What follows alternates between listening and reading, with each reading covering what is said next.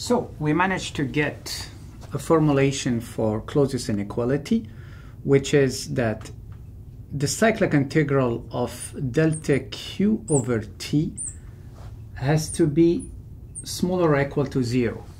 Okay? Otherwise, if you sum up delta q over t everywhere in your cycle and you end up with something positive, this means that you are violating the second law of thermodynamics. Okay? If not, if it's equal to zero, this means it's reversible. So I will summarize this here.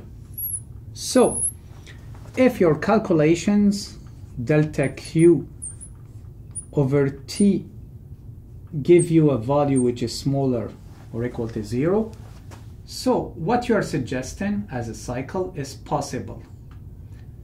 Well, possible from a fundamental point of view. We are not talking about something possible like when you design it, okay? You have other constraints in this case.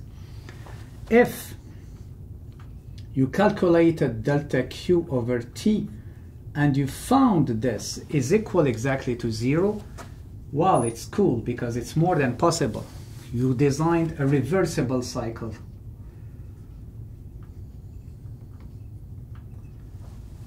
And if you calculated the delta Q over T everywhere, and you found it positive, this means that you are violating the second law of thermodynamics. This is a violation of the second law.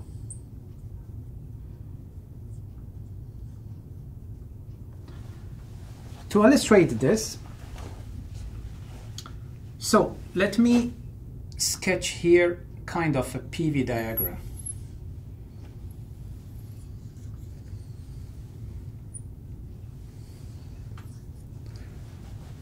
And if I tell you that at home I have a very smart cat, and this cat is capable of designing or sketching any arbitrary cycle. Okay, so last time the cat sketched the following cycle from 1 to 2 to 3 to 4 to 5 to 6 and then going back to 1.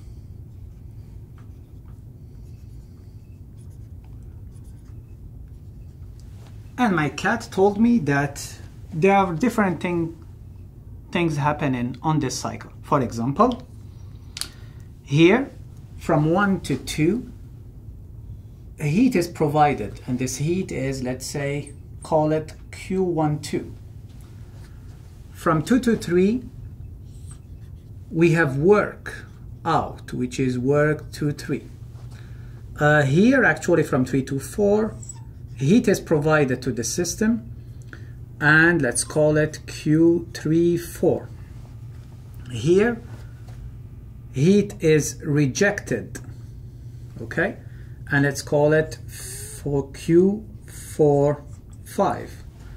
Here work is added, work 5, 6, and here also let's say heat is rejected and let's call this Q61. Okay, so my cat designed this cycle and my role actually is to invest in my cat's company. My cat is claiming that this is possible, it's a revolutionary cycle, and my role actually is to say, well, is it possible or not? Okay, at least from a fundamental point of view.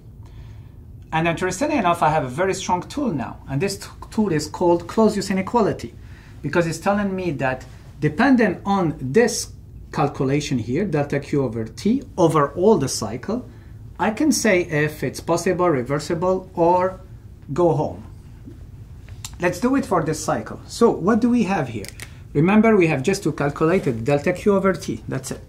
Between 1 and 2, do we have heat involved? Yes, we do. So basically, we can write Q 1, 2. But it's not just the heat, remember, it's the temperature also. So we have to know from where this heat is coming from. Let's call it temperature of a reservoir 1, 2. Then from 2 to 3, what do we have? We have work. You see, work, we don't care about it, okay? So just forget it. It's only heat. From 3 to 4, we have also Qn, so plus Q34 over T34. From 4 to 5, we have heat, but this is rejected. You remember that when we reject here, it's negative. So in this case, minus Q45 over, where is rejecting this heat? In a reservoir at a temperature T45. We keep going. We did 4, 5.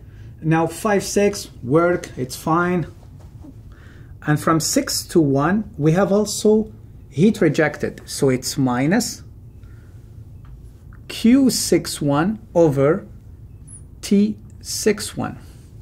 So I have the summation of the four terms here. And if now I'm given values, for example, of the heat, 100 kilojoules, the temperature is 600 Kelvin, and we keep going, I sum up all this. If it's smaller or equal to zero, the summation of all this, so you see we have negative terms here. So therefore, it's possible, okay? From a fundamental point of view, it's possible. Okay, so now I can further investigate this and probably see is it worth it to invest in my cat's company. If the values, actually when I sum up the values, it gives me zero, it's wow, it's reversible. So it's even better, okay? So the cat managed to design a reversible cycle, okay, which is quite a good achievement, not even, not just for a cat, okay?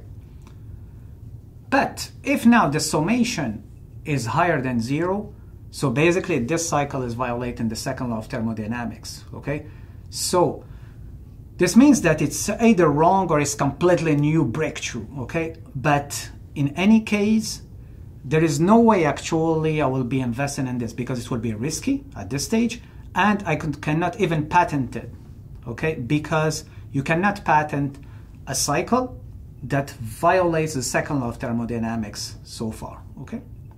So now let's see one of our best cycles, which is Carnot cycle, okay? You remember for Carnot cycle,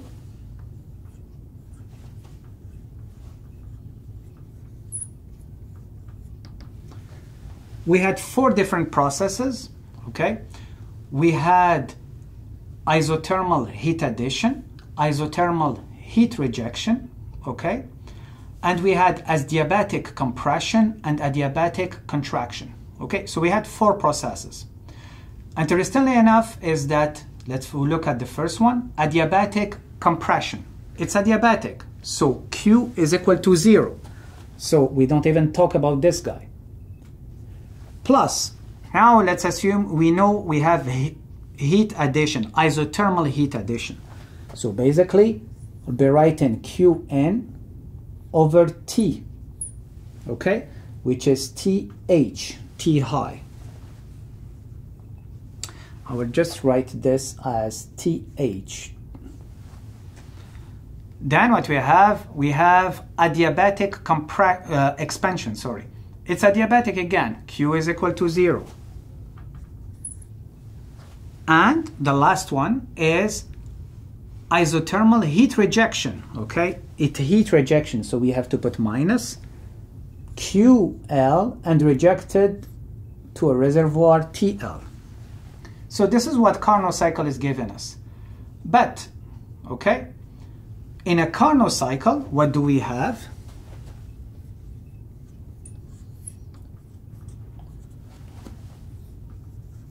Carnot cycle,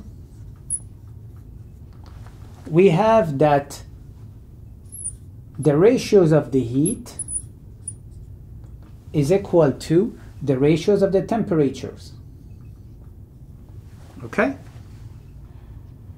So this means that my QH over TH is equal to QL over TL. So this means that this term is equal exactly to this term. So this gives me that the summation of all the terms here will be equal to zero, okay?